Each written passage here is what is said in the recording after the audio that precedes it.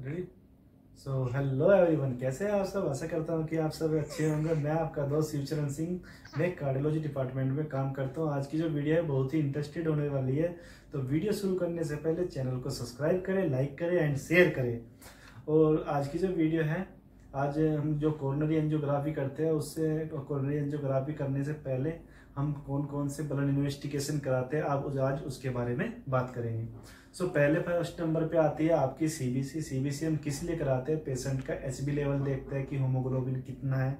दूसरा उसका टीएलसी देखते हैं कि सेप्सिस पेशेंट को नहीं है टीएलसी वगैरह बढ़ के तो नहीं आ रही है। तीसरा उसमें देखते हैं प्लेटलेट कि प्लेटलेट पेशेंट की कम कम तो नहीं है, क्योंकि हम एंटीकोगुलेटिव जो ड्रग्स देते हैं, उसकी वजह से कभी कभी पेशेंट की जो ब्लड क्लोट होता है, वो कम हो जाता है। जो हम, और पेशेंट की प्लेटलेट कम होगी तो ब्लीड होने का खतरा ज़्यादा रहेगा। दूसरे नंबर पे आता है आपका लीवर फ़ंक्शन टेस्ट एल जो एल है, हम इसलिए कराते हैं क्योंकि पेशेंट का कोई बिलोरोबिन तो बढ़ा हुआ नहीं है, या उसका ओटीपीटी तो बढ़े हुए नहीं है तो ये हम देखते हैं आर एल में। फिर आता है आपका R F T R F T हम किस लिए कराते हैं? किडनी फ़ंक्शन टेस्ट हम किस लिए कराते हैं? किडनी फ़ंक्शन टेस्ट हम इसलिए कराते हैं ताकि हम पेशेंट का यूरिया और क्रेट देख ले कि उसका यूरिया और क्रेट तो बढ़ा हुआ नहीं है।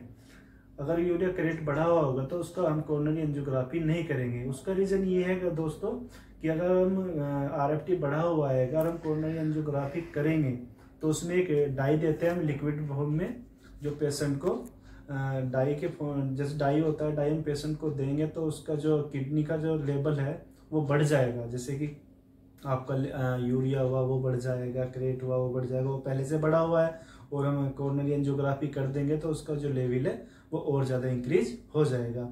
तो इसलिए हम पहले पेशेंट का, सबसे पहले हम मेडिकल मैनेजमेंट पे पेशेंट को रखेंगे ताकि हम पेशेंट का जो यूरिया और क्रेट है, वो घट, घटाएँगे, तब उसके कॉर्नरी एंजियोग्राफी करेंगे। सो so, आपका फिफ्थ पे आता है आपका P T I N R P T I N R हम क्यों कराते हैं? क्योंकि वो उसमें देखना होता है हमको ब्लड क्लोटिंग और ब्लड जो P T I N R होता है वो पूरे प्रो थ्रोम्बोबिन क्लोटिंग को भी दर्शाता है और हमें क्लोटिंग टाइम को बताता है। और ये इसका एक रीजन और भी है जो उसमें भी कारगर होता है। तो हम बात करेंगे एच वायरल मार्कर के बारे में। वायरल मार्कर हम पेशेंट को क्यों कराते हैं?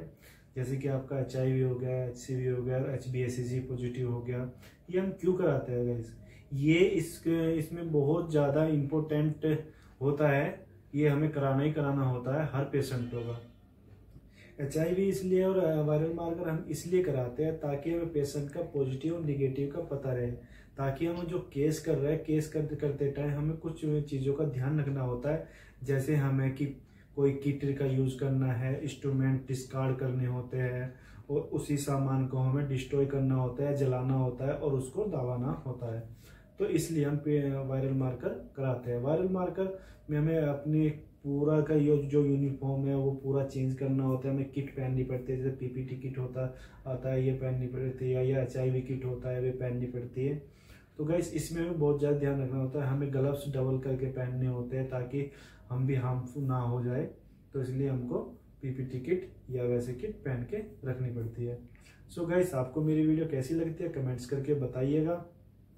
और गाइस ये जो वीडियो मैं बनाता हूँ, ये मेरा मोटिव ये होता है कि मैं आपको अपनी वीडियो के माध्यम से मोटिव करूँ और आप तक मैं कोई अच्छी चीज़ें पहुँचा सकूँ। सो गाइज़ प्लीज़ आप वीडियो को देखते हैं, लेकिन चैनल को सब्सक्राइब नहीं करते तो चैनल को सब्सक्राइब भी किया करें और लाइक भी किया करें और शेयर भी किया करें। तो thank you guys thank you so much video देखने के लिए।